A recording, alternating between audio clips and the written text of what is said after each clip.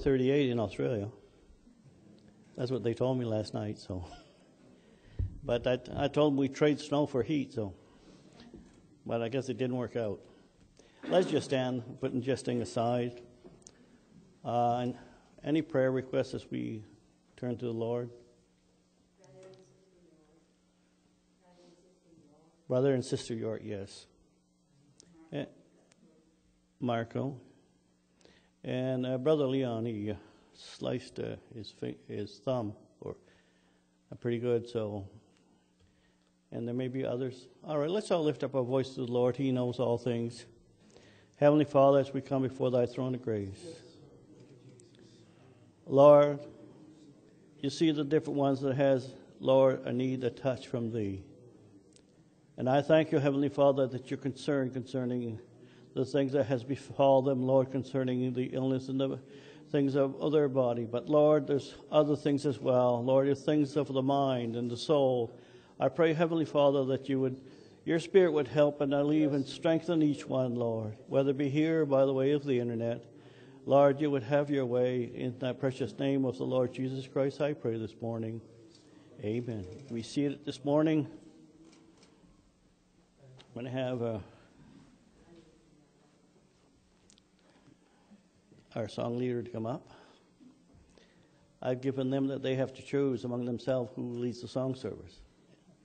It's called sharing responsibility.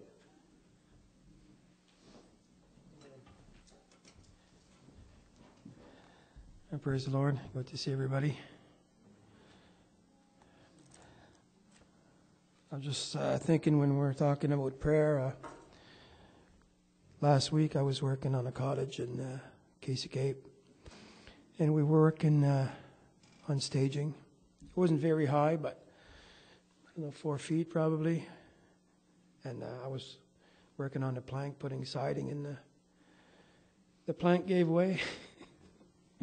Maybe I should go on a diet, but anyway, the the plank gave way, and it broke, and I just fell like uh, straight down, and wasn't prepared for the fall kind of thing. And uh, I hurt my ankle, and it was pretty sore. So I finished the day, and I got home, and it was getting, it was hurting quite a bit. And uh, we prayed over my ankle that night, and I woke up in the morning and completely forgot I had. Uh, there was no pain; it was gone. It was just. Uh, because uh, the guys wanted me to go to the outpatients and have it checked out the day before, and I didn't want to go. And, but the Lord is great in mercy, so. Uh, standing somewheres in the shadows, you will find him. He's a friend who always cares and understands.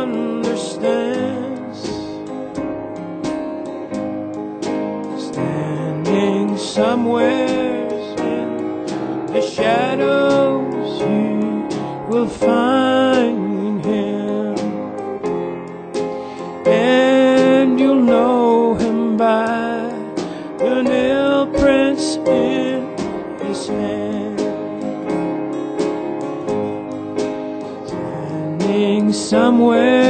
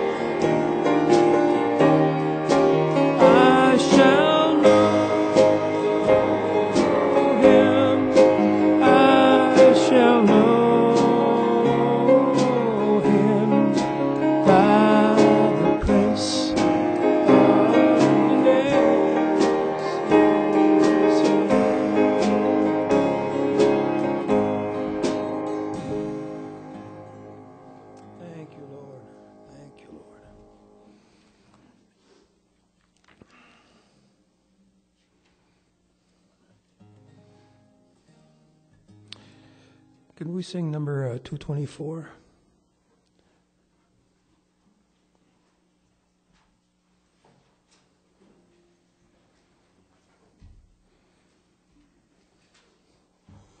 Oh, can you play, play that in, John? You guys can help me along sing this song.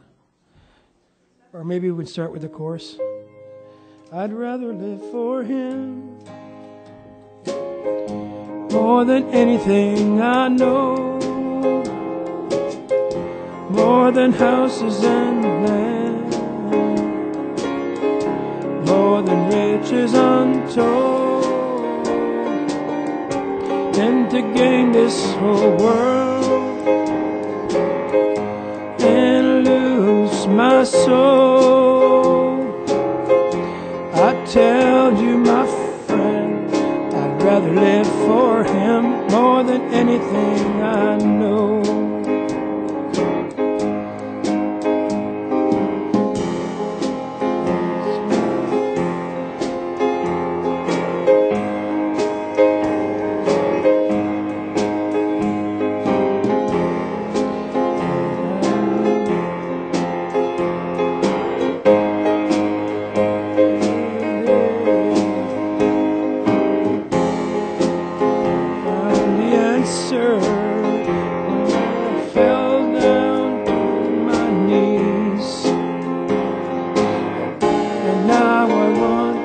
to live for Him more than anything.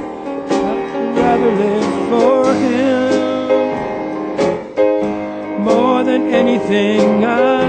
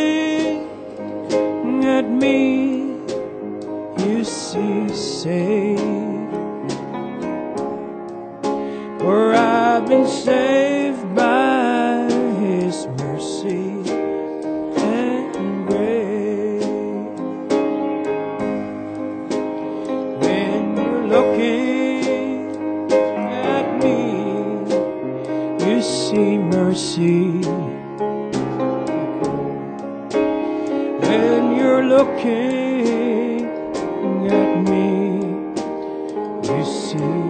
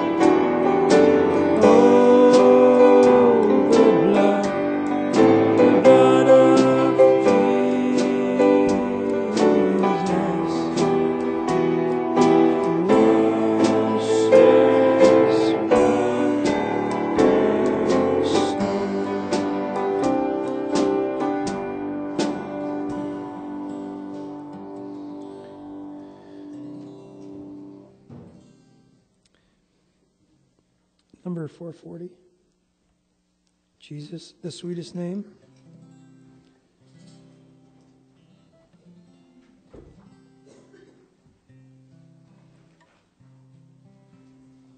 It's pretty high though.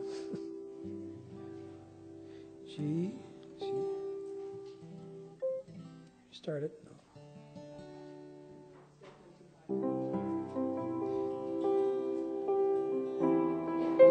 sweetest name. I know He's just the same as His home.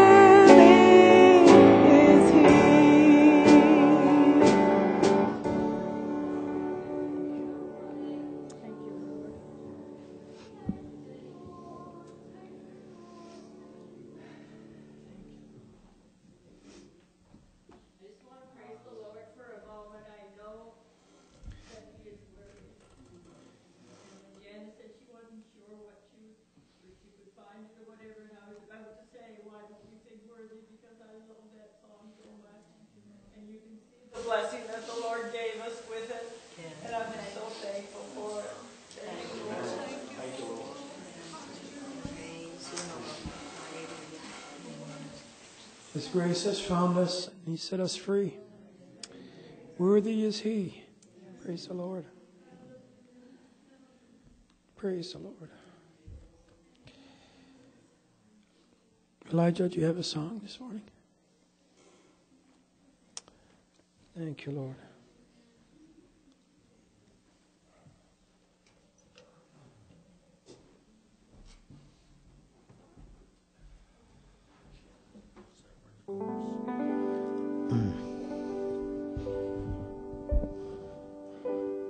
Resurrection morn,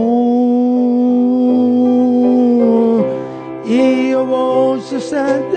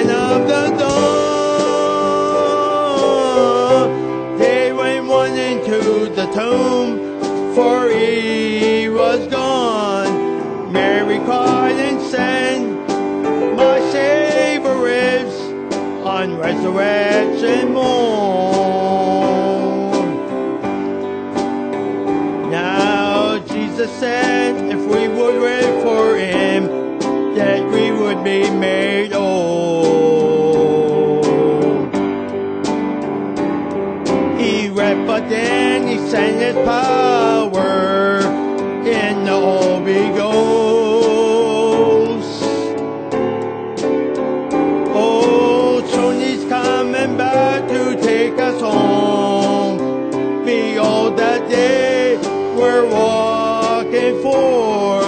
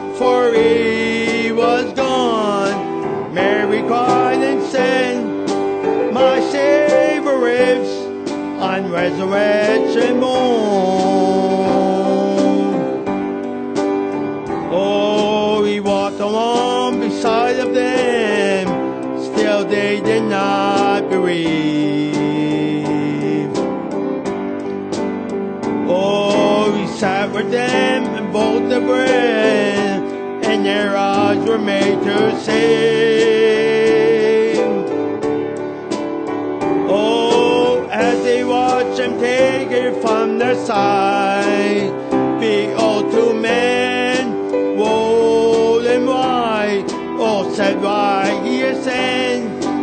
It'll come again on resurrection morn.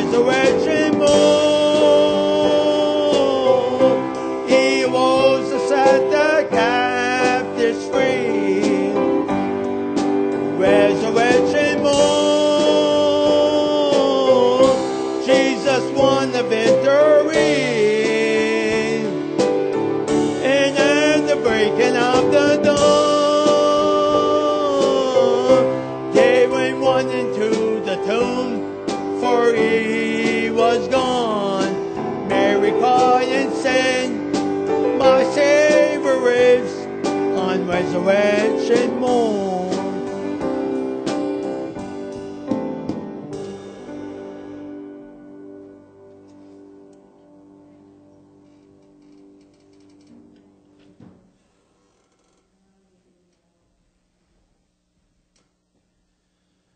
Um, Sister Brenda, she's not here. Okay. Monique, do you have a song this morning?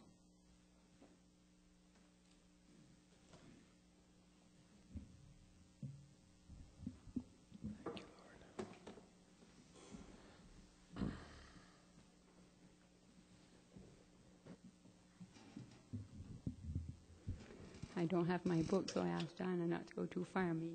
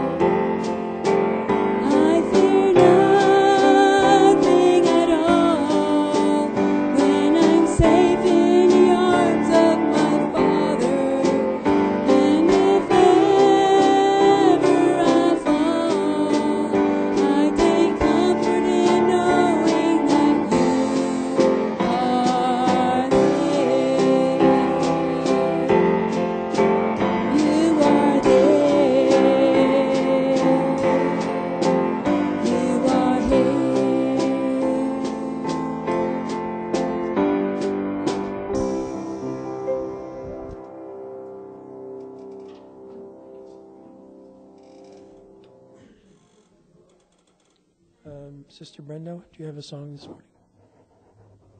No? Okay. Everybody content? Very good. We're going to turn the service over to Fred.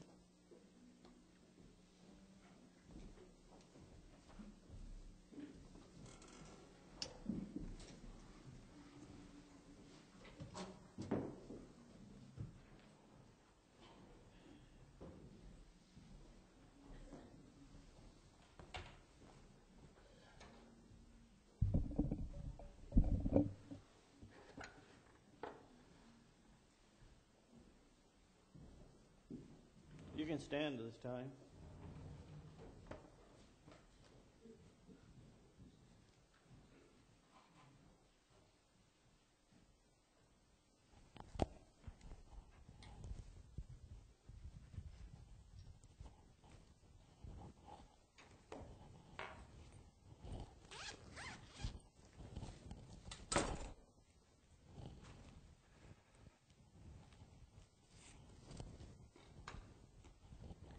Praise Lord.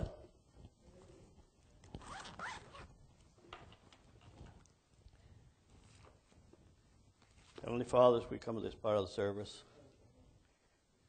we thank you, Lord, for thy spirit here, the ministering this morning in songs. And I just pray, Lord, that you would continue using our brothers and sisters as you would see fit. Now, Lord, as we look into your word, use this vessel of clay as you would see fit. I ask it now in that precious name of the Lord Jesus Christ. Amen. You can be seated this morning.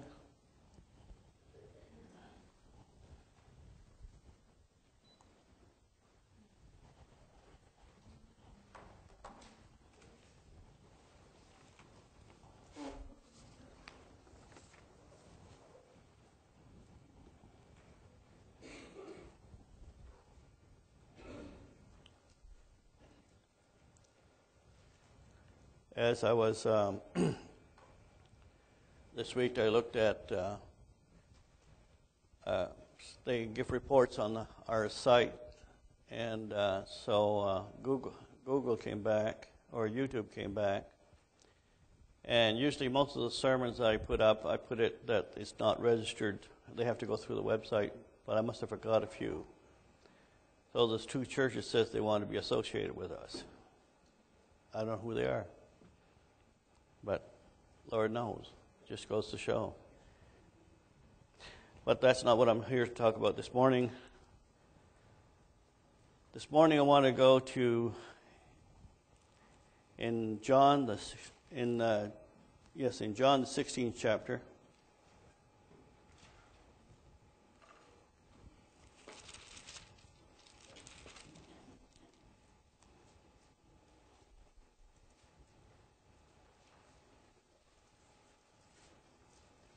And starting at the 12th verse.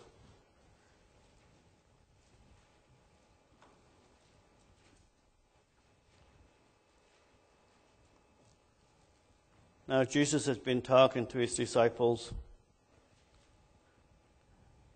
about many things, but now he comes to this place where he says, I have many things to say unto you, but you can't bear them now not because they could not hear his words from his lips that they couldn't bear, but they couldn't bear in the sense that it would be too heavy to, to know or to carry.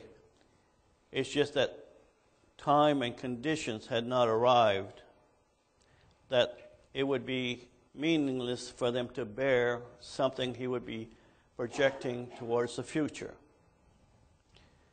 And then he goes on to say, Howbeit, when he, the Spirit of truth, is come, he will guide you into all truth. Now, the Spirit of truth is none other but the Spirit of Almighty God. We all have one Father, and that's God. We are part of one family. And Jesus is the head of the church, but God is the head of Jesus. So the Spirit of truth, that's why when we receive the Spirit in us, when we're born again, we all have one Father.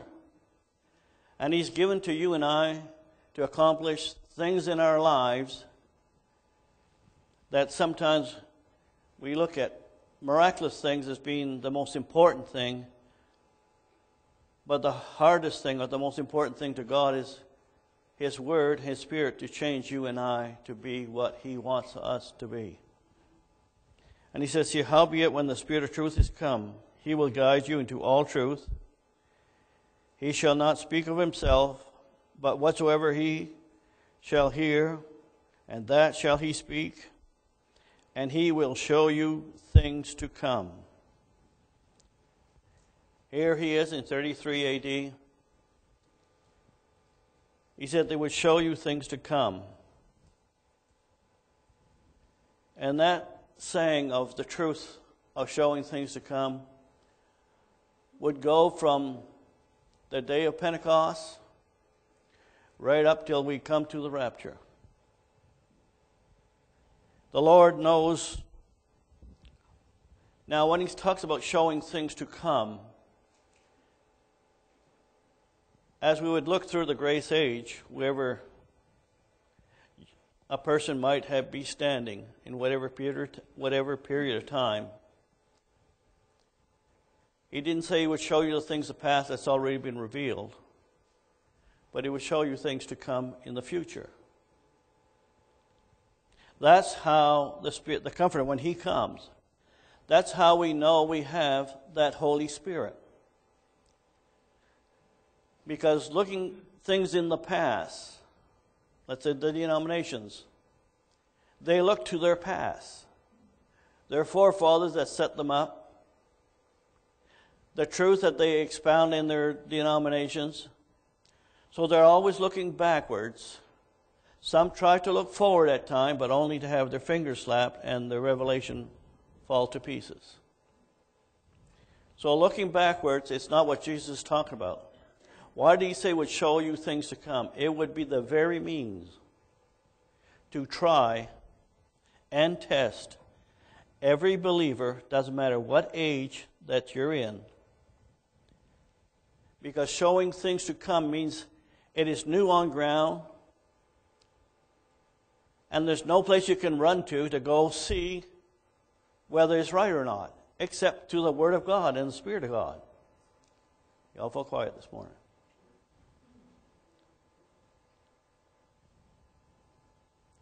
Now, when he says he'll show you things to come, we can look at that into different avenues as well. When we're talking about well, I don't need a fivefold ministry. The Lord will show me everything I need. That's in contrary, contrary to the other scriptures, because God talks about the preaching of the gospel was the means that He would bring things to come. Now, to a new child of God, as he comes to the altar and the Lord brings him to salvation, and he sees truth that we've seen for years. But to him, it is something new. But God's not going to take a child like that, that's a babe, and showing something to come that's prophetic for the whole bride. That's ordained to the ministry.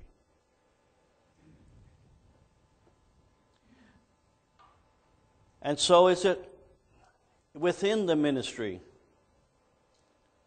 God doesn't use a pastor to bring something new that the bride has not walked into that's for the whole bride. He'll use, in the case of Brother Brown, he was a prophet. In the case of Brother Jackson, it's an apostle ministry. And in the fivefold ministry, it would be the very same thing again. But I want to as to give us a, an example, let's turn now to Matthew chapter 16.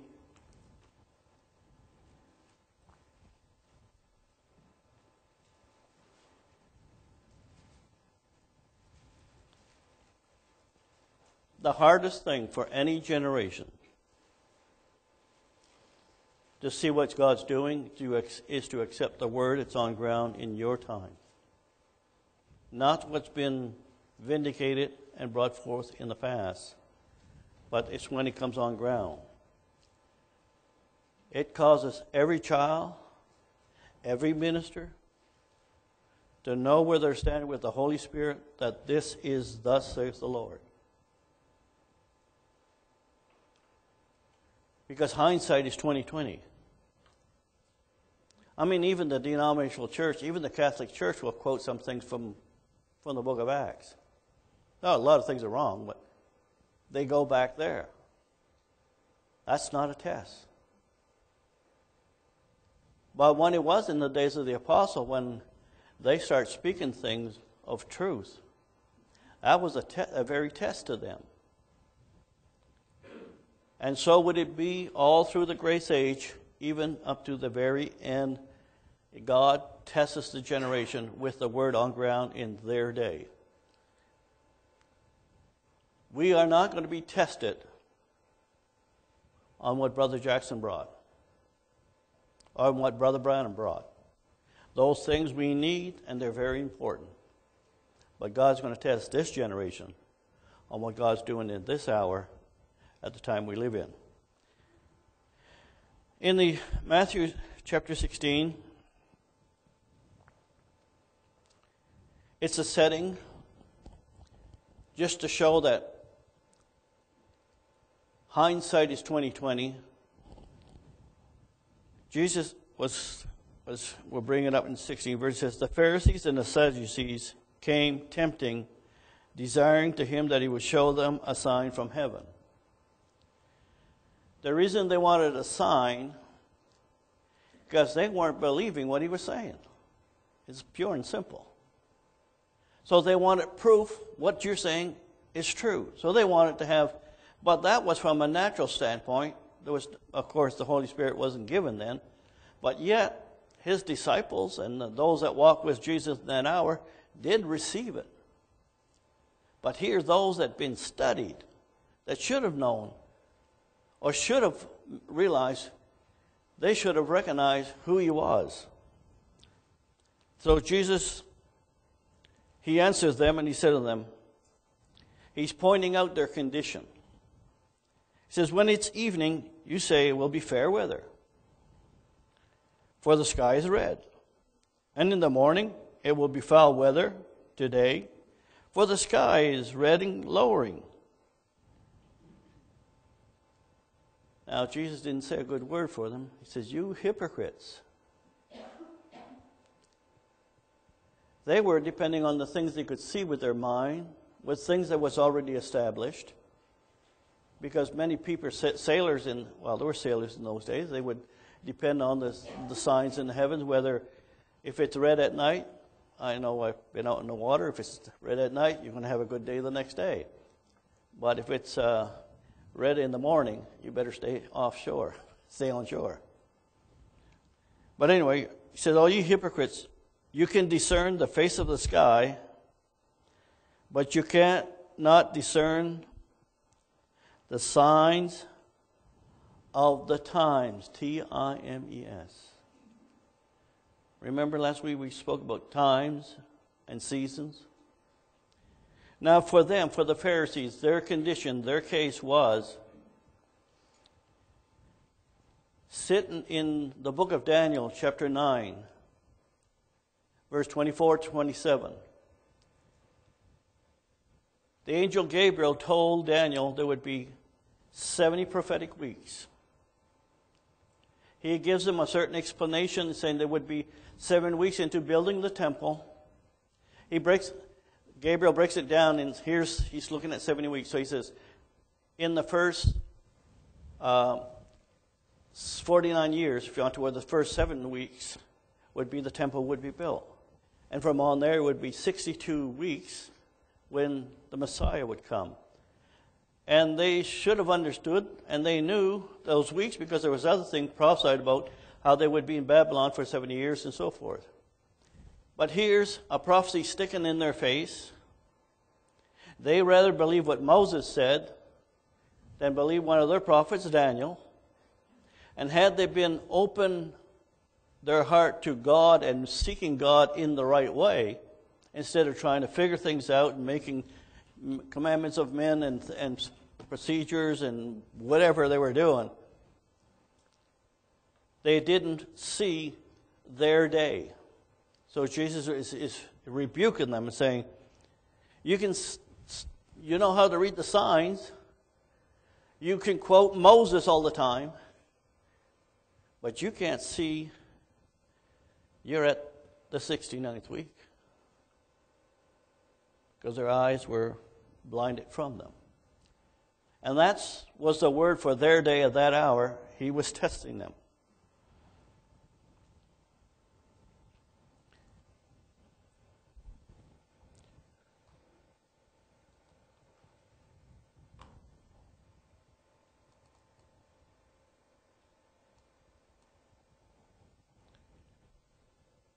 So this sets up an example. As that is used as an example, they were to recognize what was on ground for their period of time. And because they don't recognize their time, they just speak against things that would be true for their day. And that has played out all through the first church age. There's always those that says, "Well, who do you think you are, Paul? Where do you get these revelations?" Jesus didn't say that. Moses didn't say that. But those that had the Spirit of God in them could see the reality of the things that Paul brought in, in the epistles he wrote.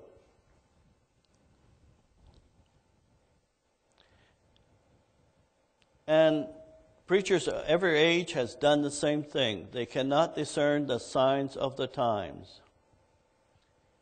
The denominations. Now, I'm not going to go through the whole Middle Ages and find out of every detail, bringing it up to date to now. In the days of Brother Branham, those that should have seen that God was going to send a prophet, they should have seen Malachi chapter 4. They didn't open, they weren't, let's say, open to hear what he had to say and to, to check with the scripture. Because in them is a spirit already. It's an anti spirit. Because when something is said that's not with the Spirit of God, it becomes anti. And as Brother Branham now start preaching the, the word to them, not in the 48 when he came, or 47, but when he came after 1960 onward, as he's speaking the word, tongues is not an evidence. Instead of looking to the scripture and rejoicing, they ganged up on him. Because that's what was going on at that period of time. That tested the movement.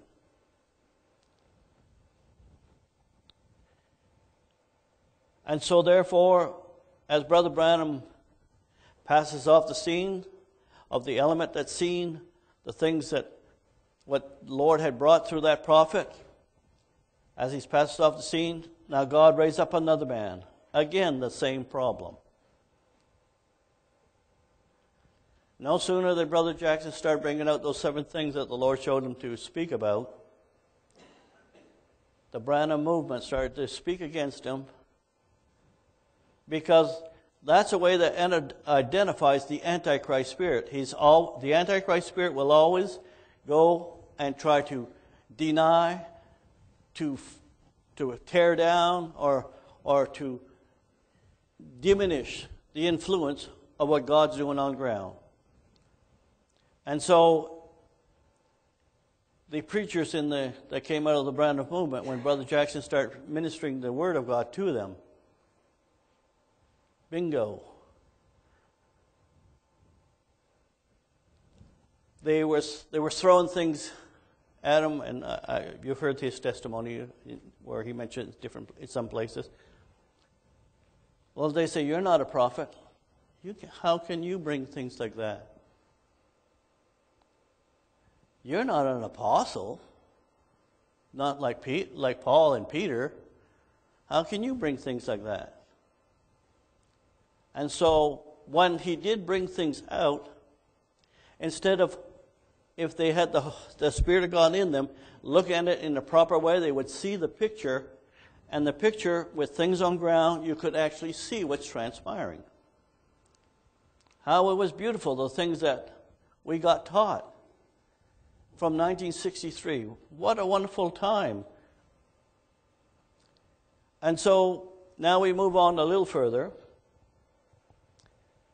And while Brother Jackson, till 2004, started to minister all the wonderful things that we've had, and he passes off the scene, now it's a turn for another stage, the fivefold ministry. And let there be apostles stand on the scene in the time of the fivefold ministry. You got the same thing that's happened to Brother Branham, that happened to Brother Jackson. It's happening in this hour right now. There's always opposition. But it's a means of God to test to you and I what's actually transpiring. Is this fresh water or was this this before? Okay, thank you. I didn't know for sure.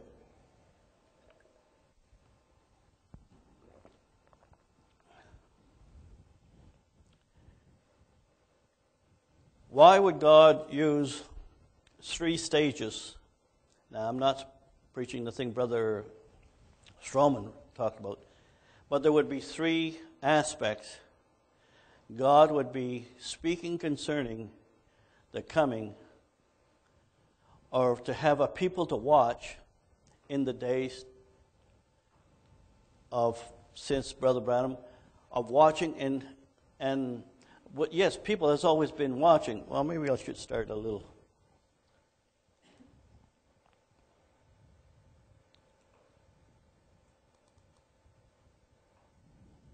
Now we looked at the times and the seasons. When Jesus in that's in Acts chapter 1 verse 7 when Jesus says it's not for you to know the times or the seasons he's speaking yes to Jews but these Jews were to be part of the bride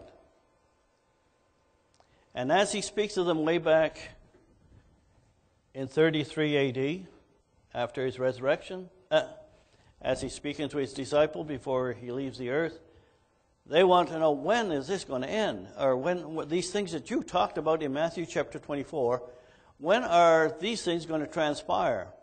He says, they're not for you to know the times and the seasons. Now that's in the language of that day or the hour.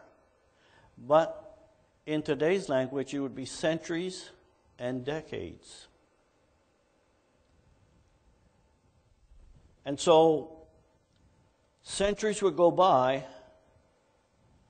But remember, when God does something, when He identifies a certain period of time, it has to be with something that's transpiring on ground at the time. It can't be just any old date. Well, let, us pick this area here or that area here and try to put something together. If we turn to Luke chapter 12, and I know I went over this, this before a bit, but I want, there's other things I want to bring in here this morning. So we're in Luke, the 12th chapter.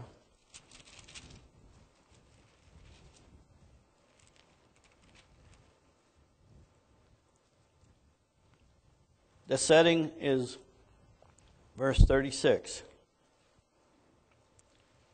And ye yourselves liken unto men when waiteth for the Lord, when he will return from the wedding, and when he will come and knock and immediately open up to him. The initial him returning. His returning has nothing to do with his physical second coming. It has nothing to do with coming for the rapture, the rapture itself. But he is definitely coming and has come in 1 Thessalonians chapter 4 the Lord shall descend from heaven with a shout.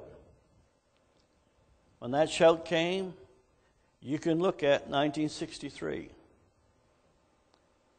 That was the beginning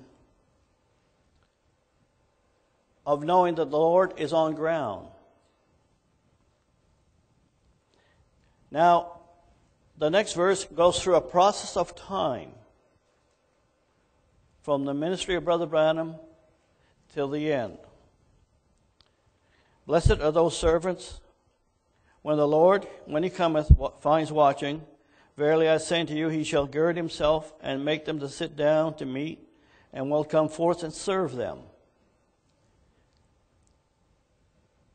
Like I said, it started with the ministry of the prophet when the seals, the church ages, and other things he was bringing in in that hour. But then it fell mainly of the feeding of servants was now mainly under the ministry of Brother Jackson.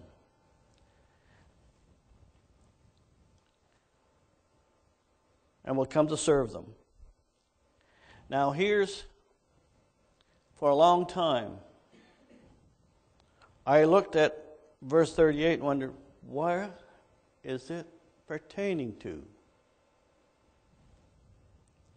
And if he shall come in the second watch, or come in the third watch, and find them so blessed are those servants.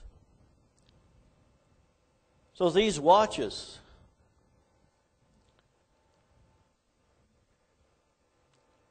we're going to find out they're watches of the night. Remember those circles that the Holy Spirit drew when Brother Branham was there and showing it was very dark on the last one? That's about the midnight hour. And so, why would Jesus say, well, there's a second watch? He said that, and there's a third one. But where in the world is the first one? If we put that parable along with Matthew chapter 20, uh, 25, now in Matthew chapter 25,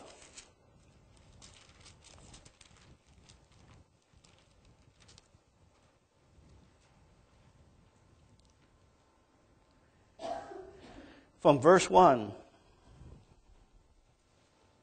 to verse 5, that's at the turn of the century, from 1906, when the pouring out of the Holy Ghost, speaking in tongues.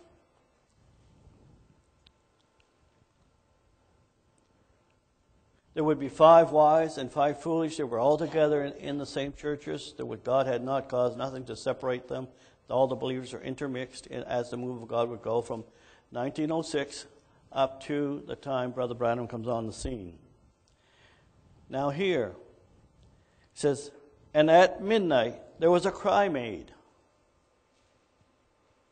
At midnight. Now, we can look at it as a time on the watch. Yeah, it's, it's midnight, it's 12 o'clock. But as a background, and there's, there's Mark, uh, I believe, there's a scripture that depicts about this, the watches of the night. And the watches of the night, it's not like we have in our calendar here today or, or how people devise up the night for certain watches. If you're in the military, as you're watching over things and so forth. But it, from the days of the Grecian Empire and the Roman Empire up to the time of Jesus, the military and the world at that hour looked at the watching means you're watching for something, not just the, the watch the watch time. It were for watching was divided in four periods in the night. Okay, so there would be the midnight watch, there would be the second watch, and the third watch from midnight to three, from three to, to six o'clock in the morning. So here it's talking about that first point or that first period of time. At midnight, there was a cry made. Okay, at midnight, the, the cry was made, it was says, get ready. And so they knew from the 1906 when the God poured out the Holy Spirit and speaking in tongues that the Lord's coming, but they had no idea when, where, how long. Uh, they could even believe maybe it was in their time frame. But then now God adds a little bit more understanding. He says in this verse here, he says, But at midnight there was a cry. How many know when that cry started? The cry is not the shout. The cry started in 1947. That started preparing a people from 1947 on down to about 1960.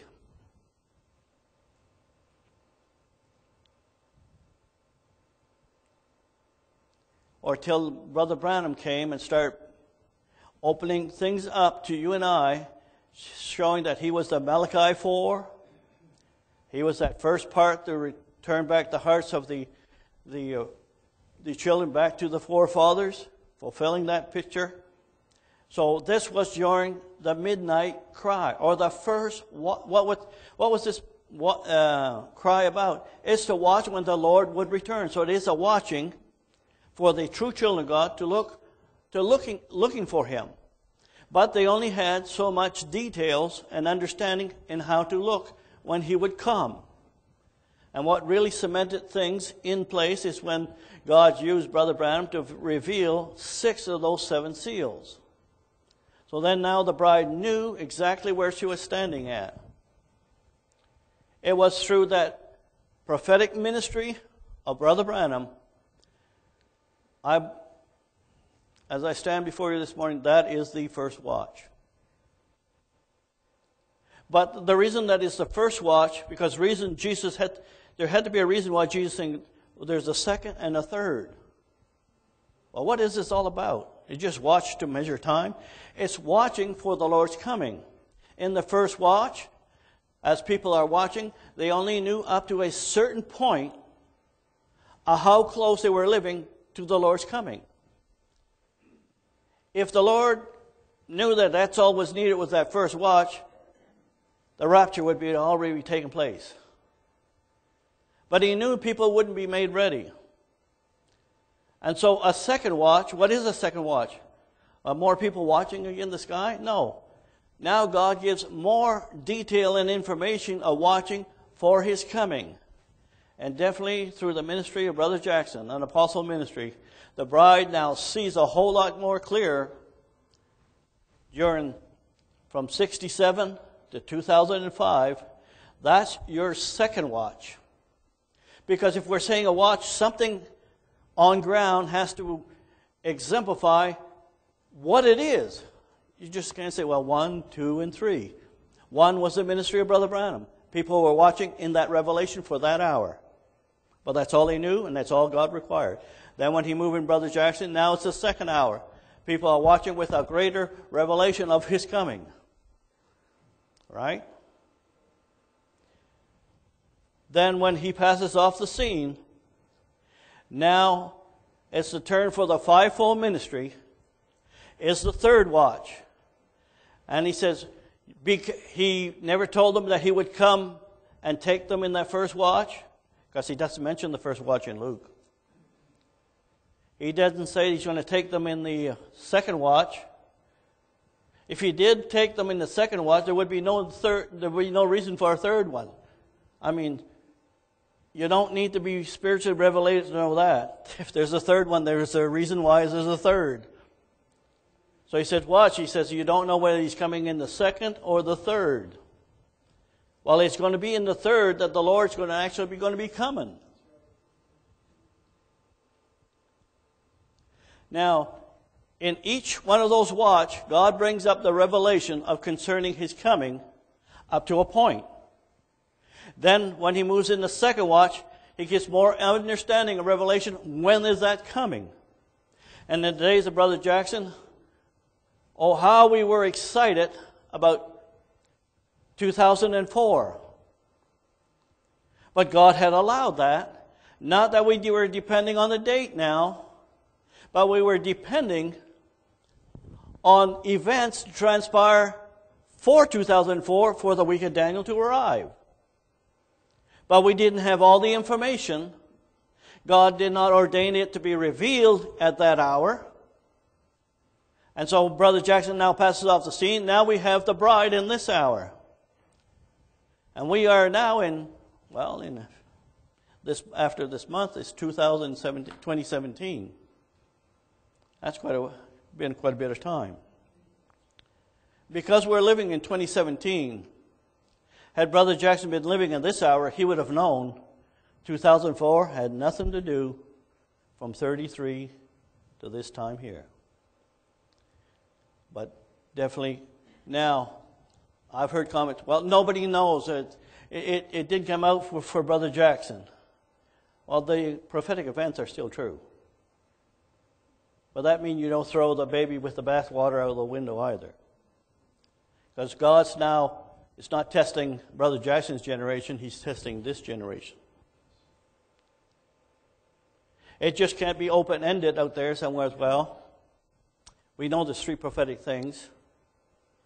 Those that believe in the third day, they don't have no clue when, it, when how close they're getting to it.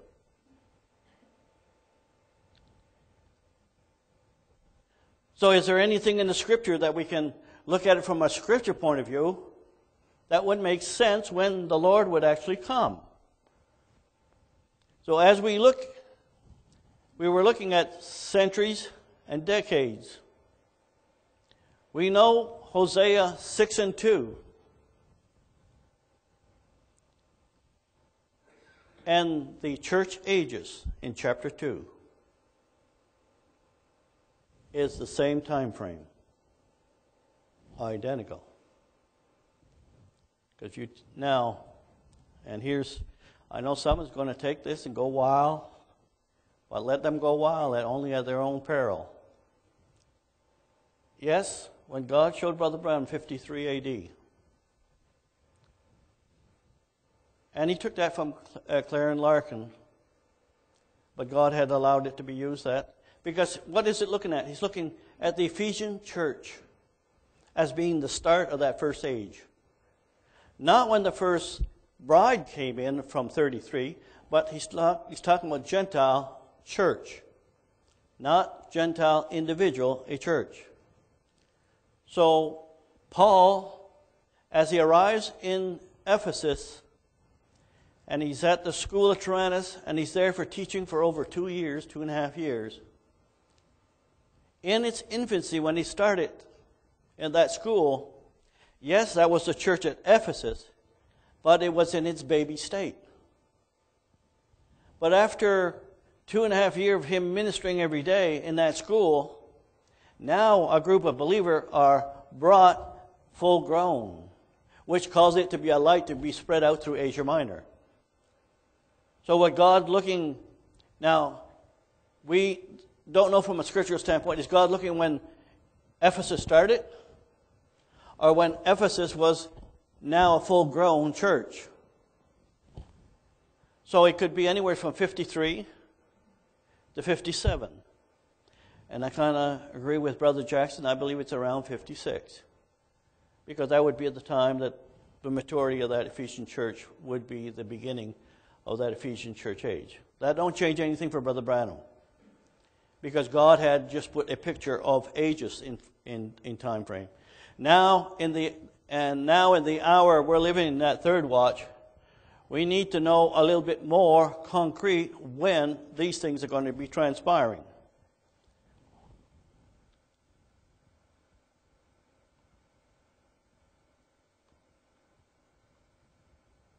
I know it's in here somewhere. Oh, there it is. So, for those by way of the internet, don't go calculating 53 and I can calculate when the, the Lord's actually coming.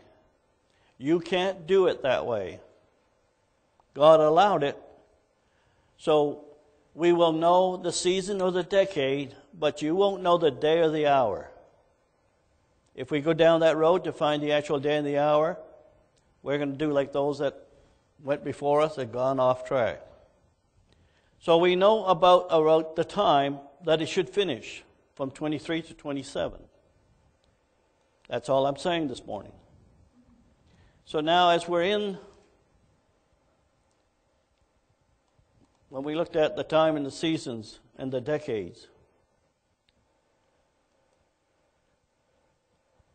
really it becomes more crucial as time goes on to know more about when the Lord is actually coming. When that first watch came, no longer, as we look at what Jesus stated in Acts chapter 1, verse 7, it's not for you to know the time, the season, the times and the seasons. The times are over as far there is no more another century to go on.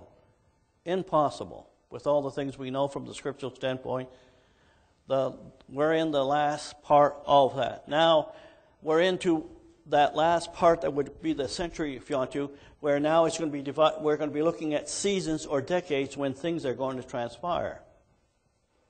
Are you following so far?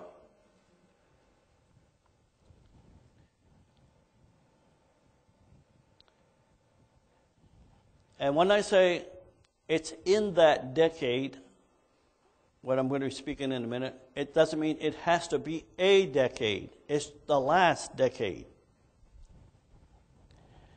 So, when Israel became a nation in one day, we know it would be the last generation. A generation is not one decade, is it? It's you don't live just 10 years unless God takes you home. So we know it would be seasons, plural, or decades. And when we look at Matthew chapter 24, verse 32, when it says, When you see the fig tree put forth another branch, that's one statement of that, that paragraph.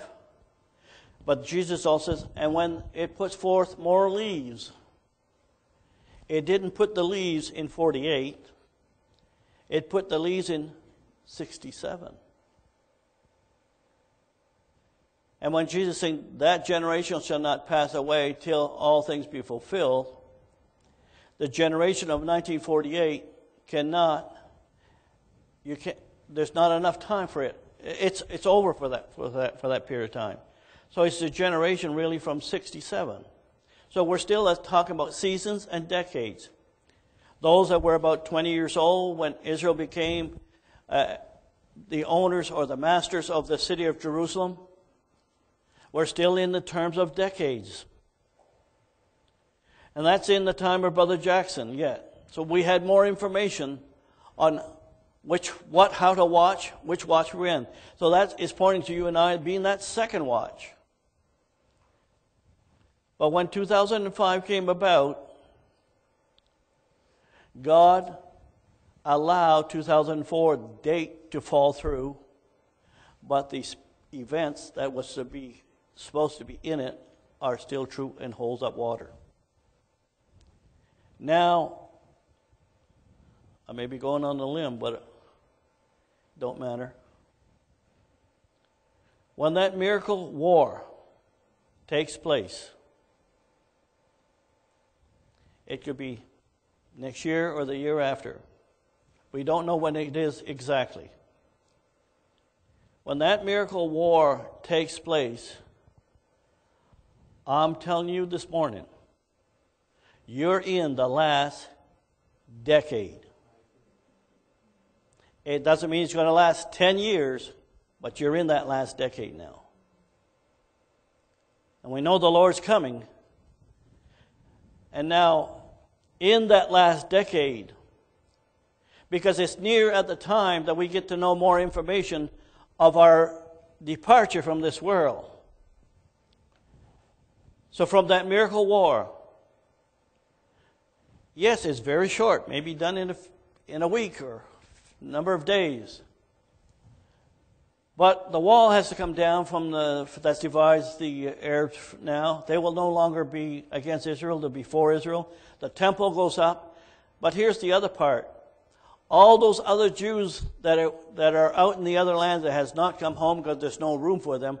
That miracle war opened up the whole area for them, the whole territory. So for people to move, be established, be put in there, you don't do that in 24 hours or six months. So that's going to take a bit of time to be established. Well, how long is that going to be, brother? I don't know. It could be three, four years. Don't go putting that to the bank. But I'm just saying you have to allow on ground what can actually happen. You, have, you can't have say, well, it's going to happen in two weeks' time. I, uh, the Lord just told me. No, it won't. Reality won't allow it. Now, it's not reality is over the Bible, over God's Word, but somewhere is God's Word. He brings in what is reality. Now, brothers and sisters, when the war of Ezekiel 38 and 39 takes place, what happens then? The thunders are going to be brought forth. And when Ezekiel 38 and 39, let's say the war ends and, and the first thunder didn't sound yet, you know, the war just ended, and on day one here, you're just standing there just after that war. That ought to tell us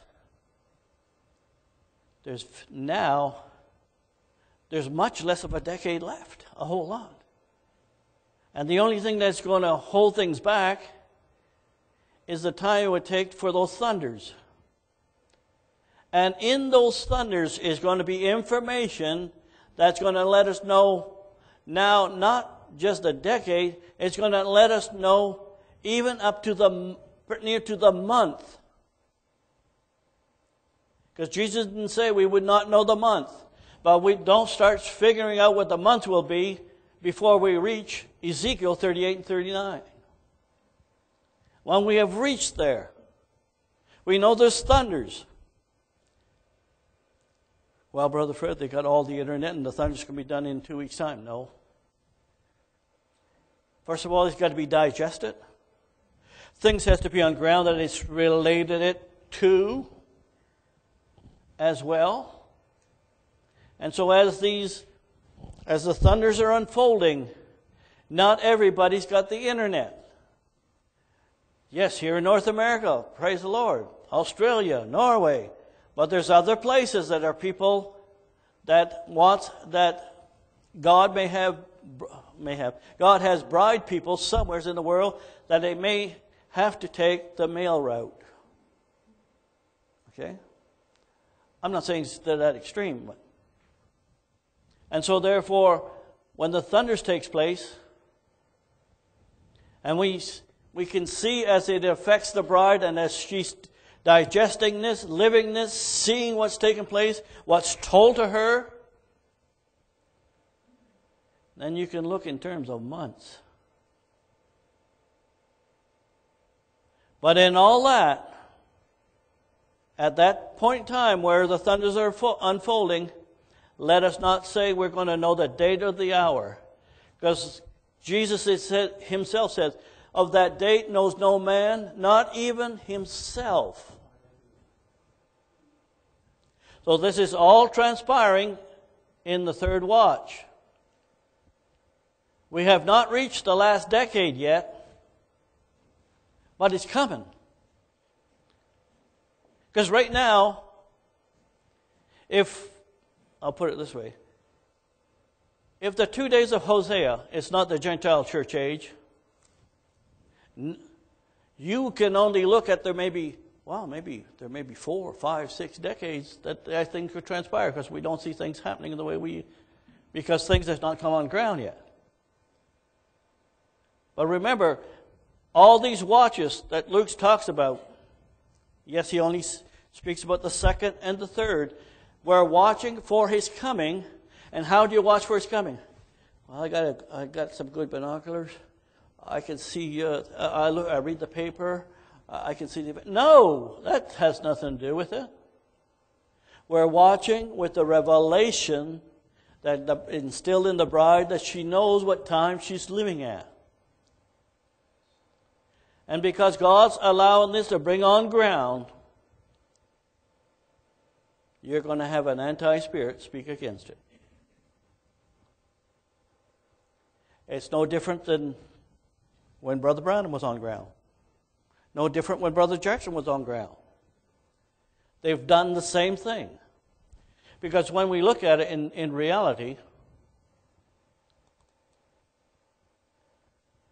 who fed Brother Branham?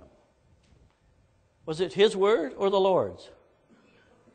Brother Jackson, was it his words or the Lord? And in the fivefold ministry, oh, well, the Lord's not speaking to nobody no more. No, he, he is speaking. And if he is speaking, has he said anything? Now, to some, it's not to my liking, so I don't think he said anything. That don't make any less real than what Jesus when he was talking to the Pharisees, or Brother Branham talking to the denominations, or Brother Jackson talking to the Branham movement. And in this hour, even though you might have come out of, the, of Brother Jackson's movement, this movement is not immune from discerning the, the times and the signs. The signs are not there for us to set a date. We're going to be setting dates. But how in the world can you watch for the Lord's coming if you don't know when? Or things that, see, it's like traveling to a, in a car going to a city. You see signposts as you get nearer and nearer. You see objects that get nearer. You know you're watching, you're closer, you're getting near to that city. Well, it's the same thing in this hour. As we watch closer, we get nearer and nearer to the time of our departure.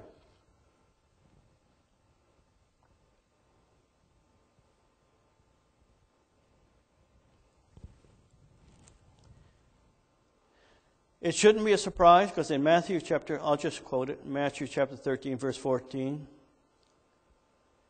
And in them is fulfilled the prophecy of Isaiah, which says, By hearing you shall hear, and ye shall not understand.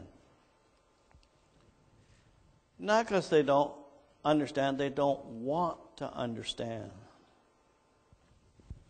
And seeing you shall see, and shall not perceive. That's one aspect of the Spirit of God is perceiving what He's doing. When you look back at the past, that's not perception. How many needs to perceive what happened in the past? But perceives things that are coming on ground that are taking place. And, the, and it's not because of a, the natural perception in our, in our minds or in our, our makeup, but it's the Spirit of God causing the believer to perceive, I see this. I'm living at that hour. I'm moving on with the Lord.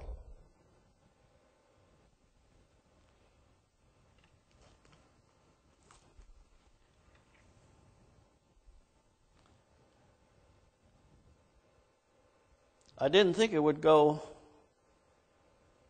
Usually the Lord starts with something. Then it opens up a bit more and a bit more. At the hour that we stand now,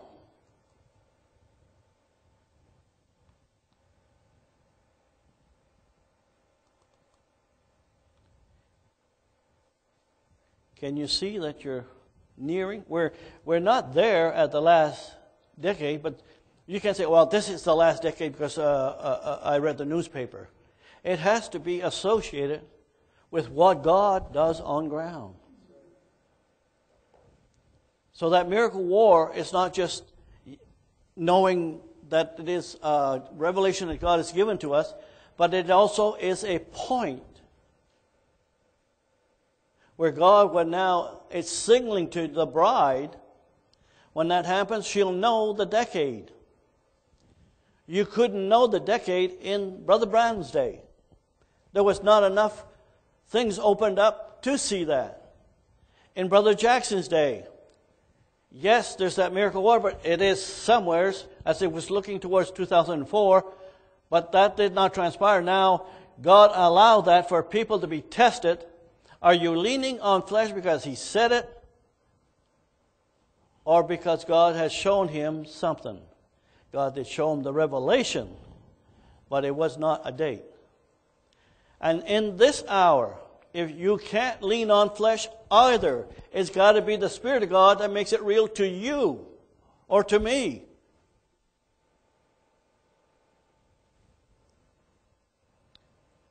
I preach a message there's no place to hide. When God brings something on ground, when Jesus spoke to those Pharisees, you can recognize this, the sky when it's red and it's going to be fine weather. But you can't tell when, the when Daniel chapter 9 is being fulfilled. That's in that hour. What is it in this hour? Well, you awful quiet. Either you're taking it in, or you're saying, he's gone bananas. But somewheres, if there's no place to hide, when the, God's word comes on ground, either will we walk in it or we'll speak against it. Now, God will allow for a certain space of time things to be spoken against it. To give an opportunity for people's eyes to be opened up. But after it's gone for a while, it's sad to say that it's an anti spirit. Could be just as revelated as you are. Could quote the scriptures better than you can. Can outdo you, outdance you, out, outperform. But one thing it can't do it can't tear down a true revelation. If what I'm speaking to you this morning is false, God will raise someone with the scripture showing that is error. But if it can't be brought down, then know that God has been opening up a picture to you and I.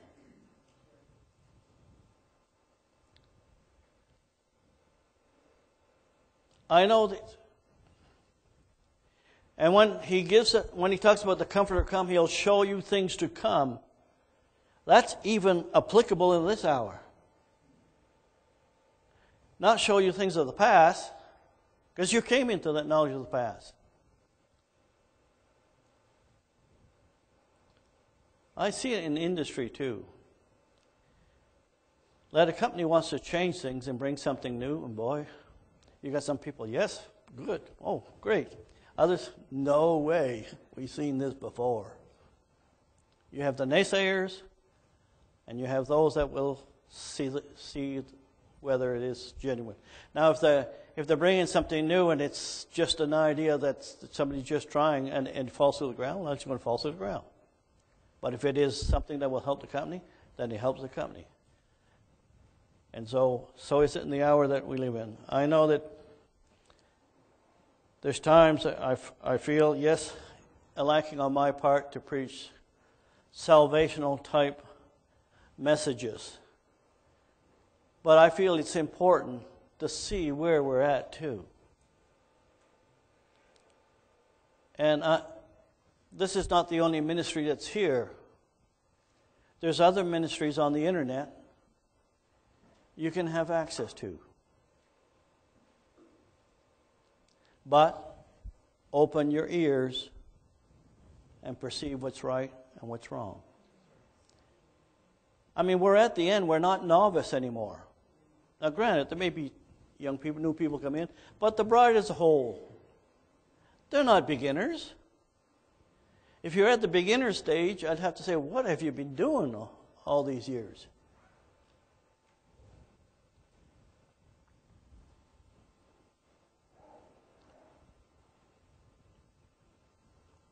And Jesus spoke one day, he said in John chapter 3, verse 31, He that cometh from heaven is above all, and what he hath seen and heard he testifieth, and no man receives his testimony. They weren't receiving Jesus' testimony. Why? They should have. He was clear enough. He was honest enough. And he also had the Spirit of God because, Father, make them one as we are one. He was one. Now, there's something, there's another area of the scripture there too. The oneness. They're one in purpose, the Lord and Jesus Christ.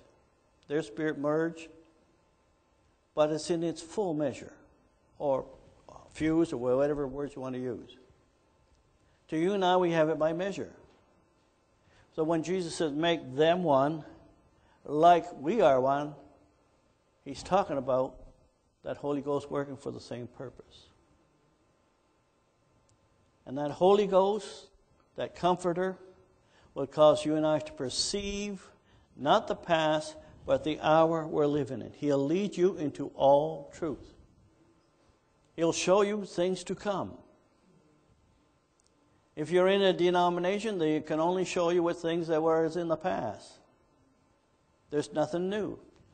Oh, but they say we got something new. We we we uh, we we uh, preach salvation in, in a new way, so it's a new revelation. No, it's not. It's a revelation just as you expound it in a different manner. But you didn't bring forth anything new that was never revealed before. And the thing that God's looking at in this, in this hour, and it brings back to the book of Revelation. What is the testimony of Jesus Christ? It's the spirit of prophecy, right? Prophecy is what? Concerning things to come. It can pick things from the past that was never revealed, but mainly showing things to come. Well, maybe I said enough for this morning. I could have went in a whole lot of different directions, but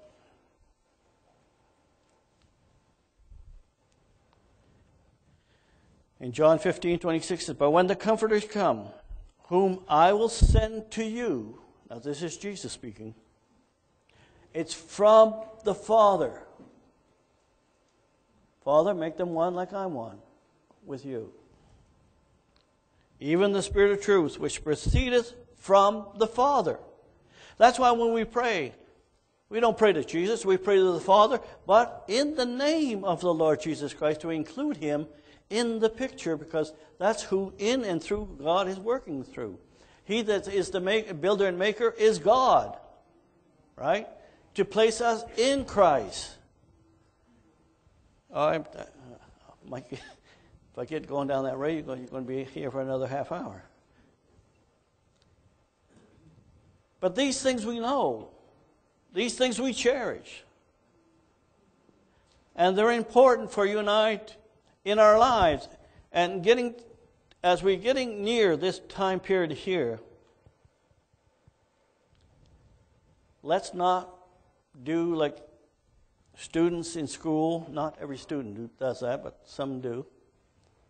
They wait till the last minute to cram to get things ready. When is the time for you and I to get ready? If there's something in your and my life, how sincere are you about it? When we talk about faith, which I spoke a little bit last week about, if we just take, as the Spirit would come to deal with us, rest assured you can rest on that. But it takes an uh, something on our part to believe it, to walk in it. And God will make it materialize. But if I'm, yeah, I'm sincere today on Sunday, but come Tuesday, well, I don't know, Lord, you, you know, I'm having problems. No. Don't go by your feelings. What is faith? It's a revelation. And what is a revelation? Something that the Spirit of God imparts to you, the individual. I maybe I kind of like that part there. And what he imparts to you at that time is what he wants you to, or I, to work on in that period of time. No, Lord, I, I don't think I want that. It's just another thing that I want to deal with. No. Who can make the changes? Can we change our lives? No. But He can if we allow Him in His way how He leads us. So praise the Lord. Uh, maybe I'll stop here because we'll save that for another day. But you see, in Luke he says the second watch and the third watch. He didn't mention the first one.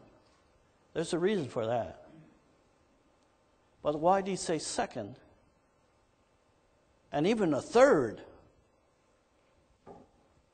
And it's not watching on watch, or is this part of the midnight? We had calculated the days. It's watching. It's con- on, It's mainly concerning the watching of His coming in a revelatory understanding. That's as best as I can try to expound it to you this morning. Well, let's just stand at this time. Have the musicians to come.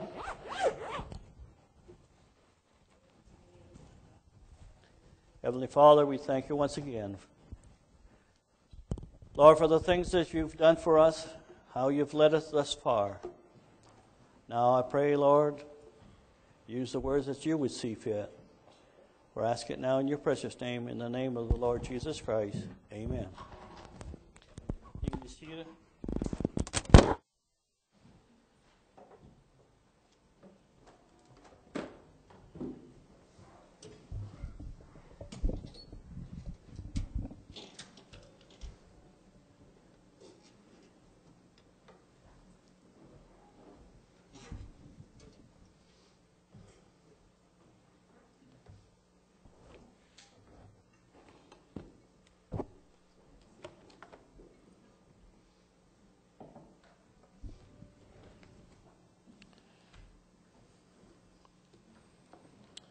Praise the Lord. We're thankful for the nuggets that He allows us to see, the picture He allows us to see, and uh, thankful for the ministry. Just want to tell you I'm thankful for all that you have done.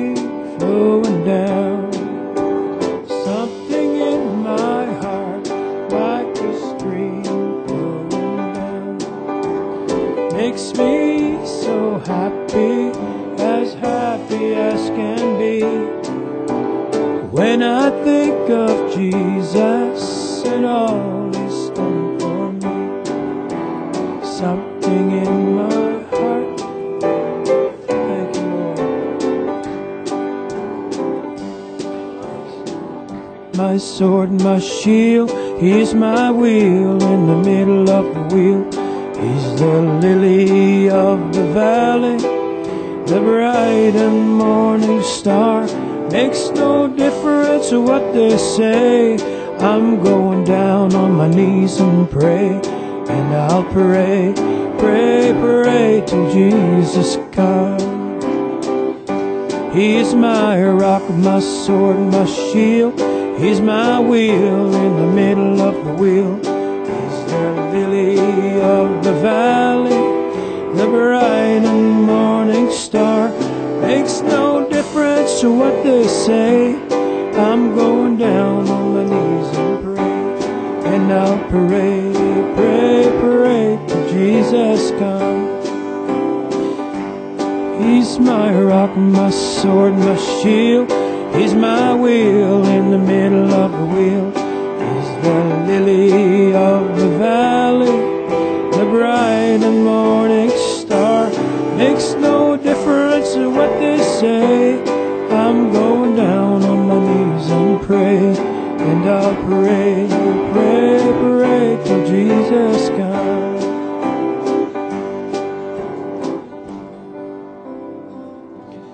Just a little longer, and the trump of God will sound. Just a little longer, and we'll all be glory bound.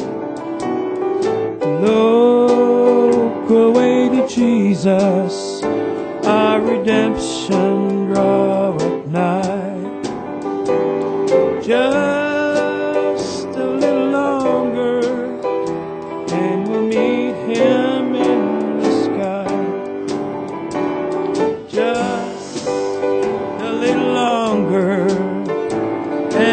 trump of God will sound. Just a little longer, and we'll all be glory bound. Look away to Jesus, our redemption draweth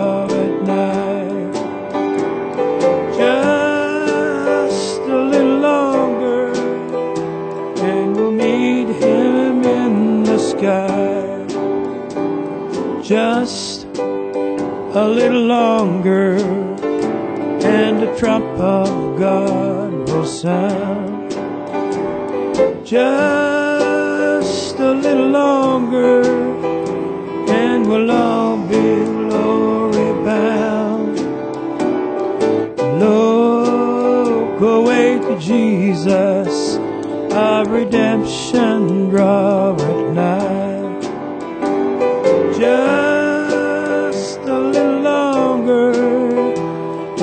Meet him in the sky.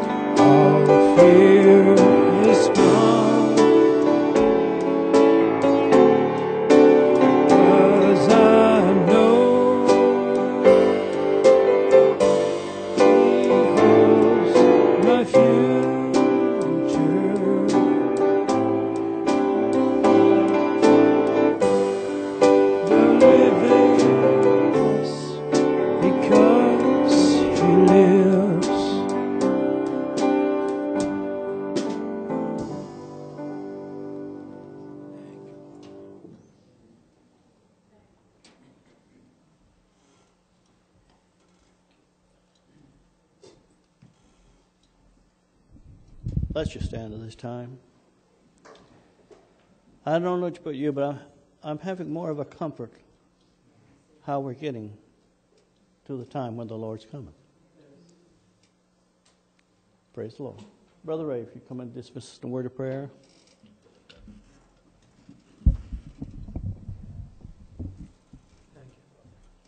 Heavenly Father, we thank you for this wonderful time. Thank you for your visitation and your faithfulness to us. Heavenly Father, as we dismiss and go our several ways, we pray that you would give us traveling mercies. Be with your children this day. In the name of Jesus Christ, we pray. Amen.